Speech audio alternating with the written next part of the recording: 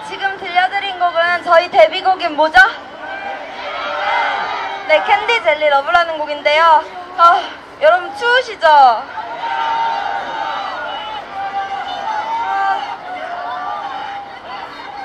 여러분 어, 스키장이 원래 추운 거예요? 아니면 날씨가 추운 거예요? 둘 다? 아, 아우 추워.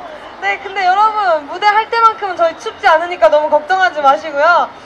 네, 그리고 아 저희 다음에 들려곡 곡 드릴 곡은 뭔지 알아맞혀 보실래요? 입이 얼었어요. 아츠! 아츠, 아츠! 알았어, 알았어. 여러분, 근데 스키가 재밌어요? 보드가 재밌어요? 보드? 스키? 다음에 와서 보드를 꼭 한번 타보고 싶네요. 여기가 스키 타는 곳이고 여기가 보드 타는 곳인가 봐요. 아, 그런 거구나. 아니에요? 아니에요. 아니, 아니, 아니. 아 같이 타요? 아 그래요? 아 그러네 여기도 스키 타시네 여기가 높은 데인가 저 봐요 스키 진짜 잘 타요. 뻥치지 마세요. 저 잘 타요. 다 진짜 잘 타요. 진짜 잘 타거든? 잘 타거든? 여러분, 여러분, 있잖아요.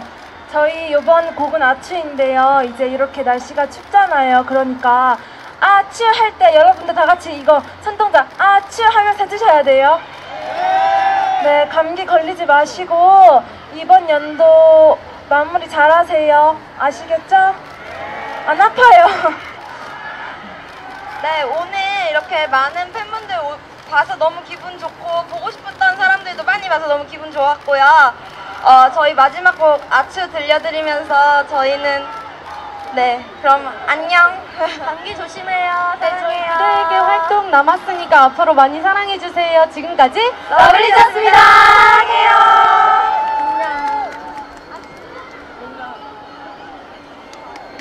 언니, 이제